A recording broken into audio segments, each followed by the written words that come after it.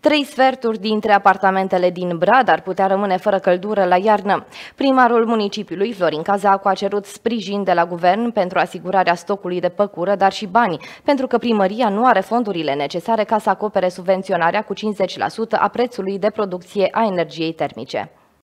Câteva mii de locuitori din Brad riscă să rămână fără căldură în această iarnă dacă autoritățile nu găsesc mai rapid o soluție pentru asigurarea stocului de păcură necesar pentru centrala termică.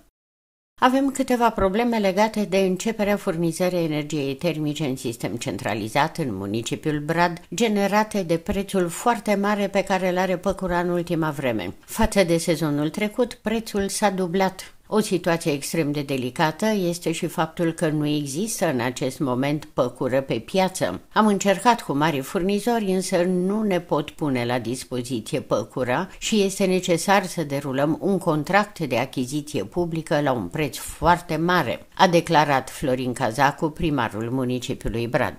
Cu iarna la ușă, primăria a cerut ajutor de la guvern și pentru a asigura subvenționarea cu 50% a energiei termice. Municipiul Brad încă nu este racordat la rețeaua de gaz. Abia în aprilie 2021 au început lucrările în cadrul proiectului de construire a conductei magistrale de gaz metan Mintia Brad. În consecință, din cele peste 4200 de apartamente, mai mult de 3000 au rămas branșate la sistemul centralizat de termoficare.